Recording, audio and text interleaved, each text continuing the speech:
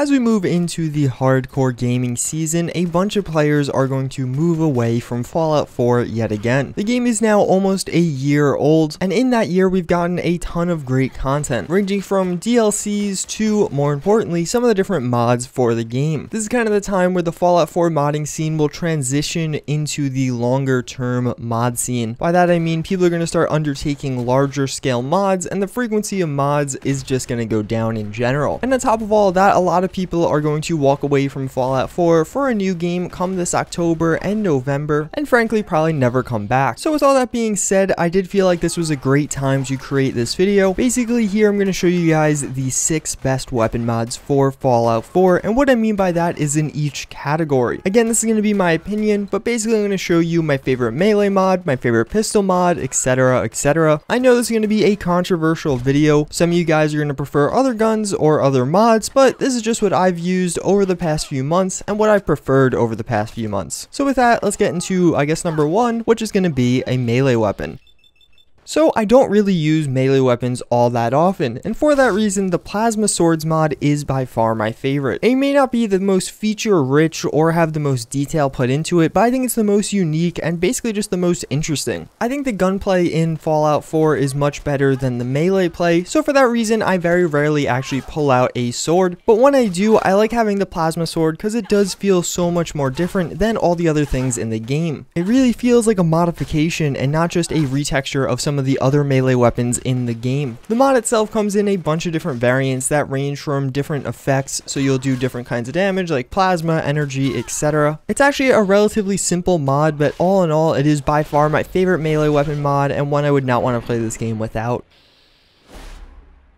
So next up we do have a pistol mod and the handmade revolver is by far my favorite. In general I kind of lean towards revolver mods for Fallout 4. I just find they have a little bit more character and they're a little bit more enjoyable to use. I also do find as I play Fallout 4 I do use a lot of pistols. Whether it just be a quick secondary to switch to after your primary runs out of ammo or just as your primary weapon because they're so much fun to use. I'm consistently keeping pistols on my person and primarily I only use pistol mods. I think the vanilla game has a severe severe lack there. Regardless, the main reason I like the handmade revolver is one, it looks absolutely amazing. Coming off of the crude blowback, this does live up to that in terms of texture quality and the model. And then even beyond that, I love it for its customizability factor. You can change all the different barrels, stocks, what type of ammo this fires, different scopes, etc, etc. Although yes, it'll always be a revolver, you could really make this your own and suit different needs. You could even kind of turn it into a little rifle by putting on some of the longer barrels and the full stocks if that's what you wanted. For a gun that I constantly find myself using again and again, it's nice to have the options to change it up whenever I feel the need to and really keep it spicy and interesting.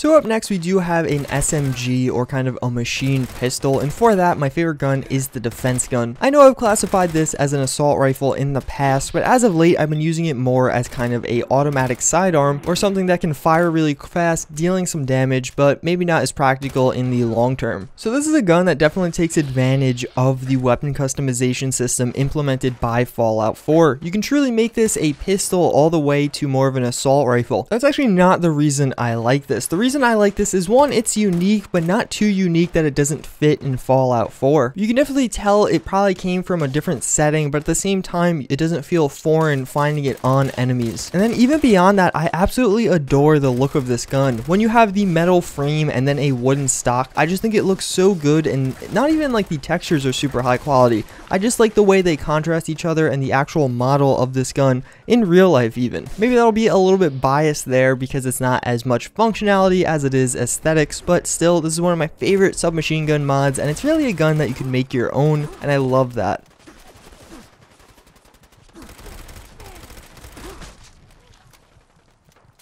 So I use shotguns almost exclusively in a situational sense. When I have to get up close and personal with an enemy, I will pull out the shotgun that I've been carrying around on me, and when I have to do that, I love the pipe shotgun collection. Mainly because this gun does allow you quite a few customizability options. If you just want to fire at somebody really fast, you could use a quad barrel, but if you'd rather have a more practical approach, you could take kind of a single shot that will have clips and magazines, and you won't just like kind of blow your load really fast on a guy's face. You'll have a little bit of time to evaluate evaluate the situation. Actually, one of the main reasons I like this mod so much is not for my own use because again, I don't use shotguns that often, but I find as I play Fallout 4, you encounter raiders all the time, whether or not you want to. And a lot of raiders will spawn with shotguns, and now a lot of raiders will spawn with pipe shotguns and different variants of the pipe shotgun with this mod installed. Due to all the customizability options with this, you'll really get some diversification out there, and more importantly, a lot of these raiders will attack you from very different ranges. Although it's a shotgun, is going to be pretty close range, but some of them are a little bit more practical from far away than others. All around a very cool mod, another one that really takes the whole Fallout 4 customizability thing in strides, and for that reason, it is very good, especially just to have in your world.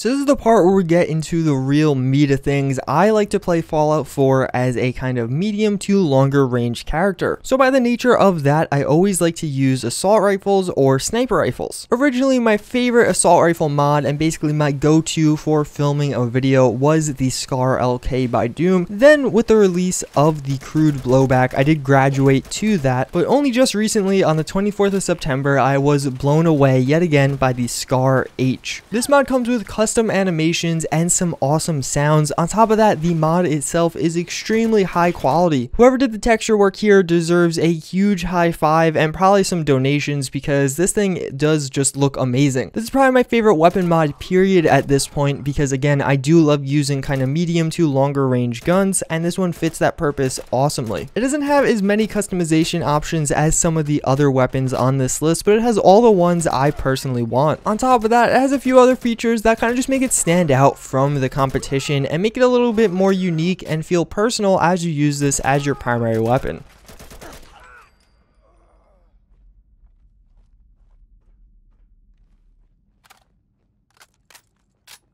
So last but certainly not least is probably my by far favorite sniper mod of all time and probably my second favorite mod of all time. The DKS 501 sniper rifle. This has definitely been one of those guns that's been in my arsenal for the longest time. It came out in July and since July I feel like I've used this thing regularly. Basically with all these mods, when I have to go film a mod, whether it be a quest mod or just a mod where I know I have to shoot some enemies, I like to install a weapon mod to actually use to take on that task. I can think think of so many videos where I've used the DKS just to go adventuring and explore the waste. And although the Scar H does blow me away, the most recent update to this has also blown me away and basically fixed every single critique I had of this gun. I just like the Scar H a little bit more. This gun really is the full package now. It is everything you want from a weapon mod. First and foremost, it looks amazing. It also does have that nostalgia effect. This was the weapon in previous Fallout games. But if that wasn't enough, there actually is a little bit more. There's unique legendary types of this gun gun in the wasteland for you to go stumble upon or find. The new update also did give it its own custom animations which look absolutely amazing and just really give this another personal feel just like the Scar H. But wait, there's still more. Also in the most recent update, they added a feature that I kind of nitpick mods for time and time again when I make videos reviewing them. The DKS has custom sounds for each of the different calibers. So if you're using a 50 caliber, it sounds different than the 38 or the 308. That is a feature I absolutely love and it's awesome to actually actually use this in the wild. So when you have two enemies firing at you with different DKS rifles, you could actually know which one you should focus because one of them is going to be doing more damage. On top of that, it also did add see-through sight support as well as visible weapon support. So now when you holster this gun, it will just appear on your back. And again, this gun is the full package. It's everything you could want from a weapon mod. Lieutenant Commander has done an awesome job on this. And again, even though this isn't my favorite, it's only not my favorite because I prefer assault rifles to sniper rifles. And it's